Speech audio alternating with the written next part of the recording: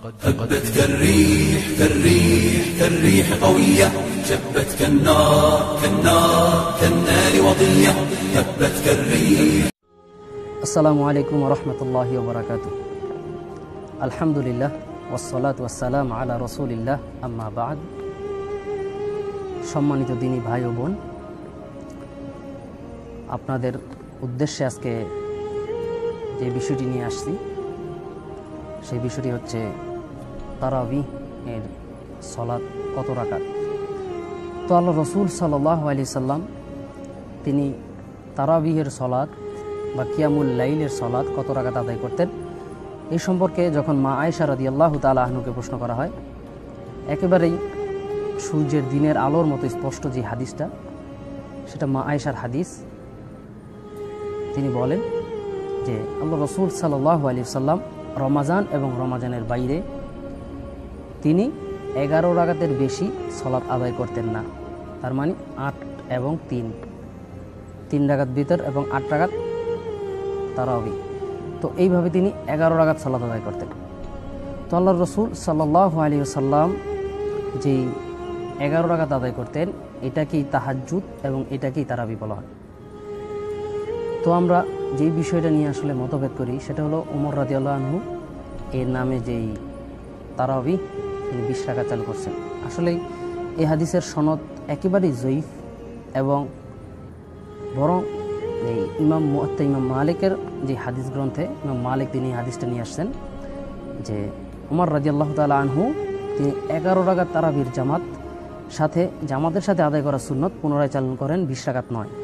যেমন হজরত সাহেব বিন ইয়াজিদ রাজি আল্লাহ তালা আনহু বলেন, খলিফা উমর ইবুল খত্তাব রাজি আল্লাহ তালা আনহু হজরত উবাই বিন কাব ও তামিমা দারি রাজি আল্লাহ রমজানের রাত্রিতে এগারো রাকাত সালাদ জামাত সহকারে আদায়ের নির্দেশ প্রদান করেন।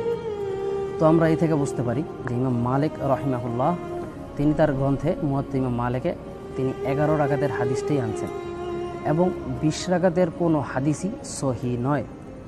সুতরাং একটা বিষয় মনে রাখবেন যে যদিও যারা বলছেন যে বিশ রাগাত আপনি আদায় করতে পারেন, বিশ বা তার বেশি, কিন্তু তারা প্রত্যেকেই বলছেন যে আসলে যদিও বেশি পড়া জায়েজ, কিন্তু সুন্নাত অবশ্যই আট রাগাত সুন্না আট এবং তিন, এই এগারো রাগাতই সুন্না সুতরাং আমরা যখন যেই খুদ্বাতুল হাজা, এর মধ্যে একটা অংশ আছে, আপনার খয়রুল হাদি হাদি মোহাম্মদিন সাল্লাহ আলী হুসাল্লাম যে সর্বোত্তম হেদায়তের পথ প্রদর্শক হচ্ছেন মোহাম্মদ রসুল্লাহ সাল্লাহ আলী হুসাল্লাম সুতরাং আমরা ওই দিকটা খেয়াল রেখে যে যত দিকের পথে, যে যত কথাই বলুক, যে আমাদের, যে আমলের মধ্যে মোহাম্মদ রসুল্লাহ সাল্লাহ আলি সাল্লামের সিলমোহর মারা আছে, সেই রাকাত সংখ্যাটা হচ্ছে আট, তিন, এগারো রাকাত।